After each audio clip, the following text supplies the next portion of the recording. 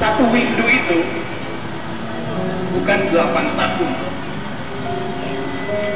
Satu window bisa jadi 8 detik untuk mereka yang menunggu kepastian. Tapi bisa jadi 8 abad untuk mereka yang menunggu ketidakpastian. Batas itu yang sudah kita ukur sekarang. Apakah suara hari ini yang melalui puisi oleh Ulil tadi. Atau diterangkan melalui naskah akademik yang penuh kemarahan oleh saudara Hamid tadi. Bisa memperpendek 8 minggu itu menjadi 8 detik atau akan memperpanjang ketidakpastian itu menjadi 8 abad. Ketika seorang aktivis entah dia mahasiswa pejuang hak asasi manusia memutuskan untuk terlibat di dalam politik dia tahu risikonya. Yaitu nyawanya bisa lenyap. Tetapi dia lebih tahu bahwa keadilan tidak mungkin dilenyapkan bersamaan dengan lenyapnya nyawa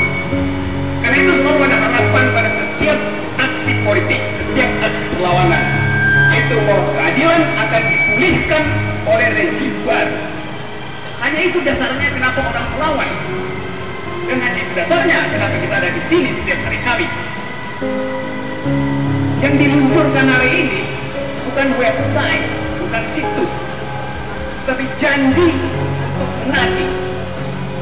Dan janji itu kita tanamkan pada Munir, pada Wawan, pada 30 sekian kawan-kawan yang hilang. Tapi Munir bukan nama orang,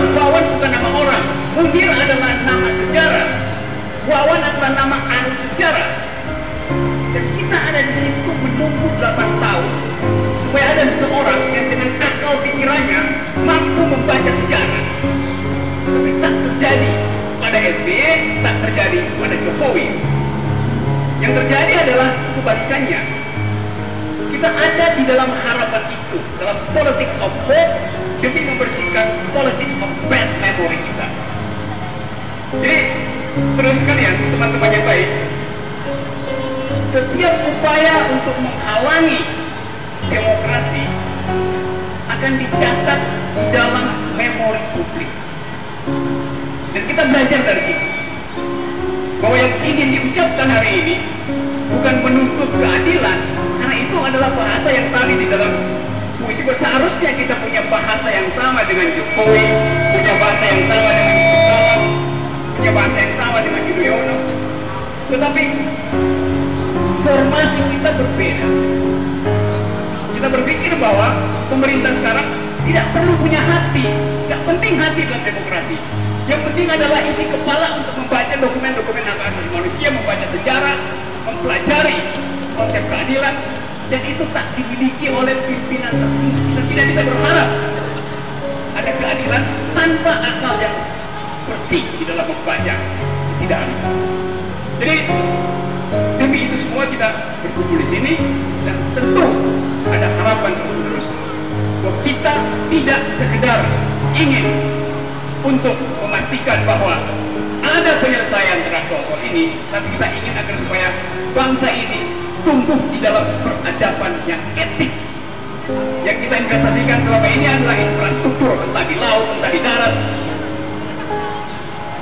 Tapi kita tidak menginvestasikan justice, kita tidak menginvestasikan etik, kita tidak menginvestasikan moral publik.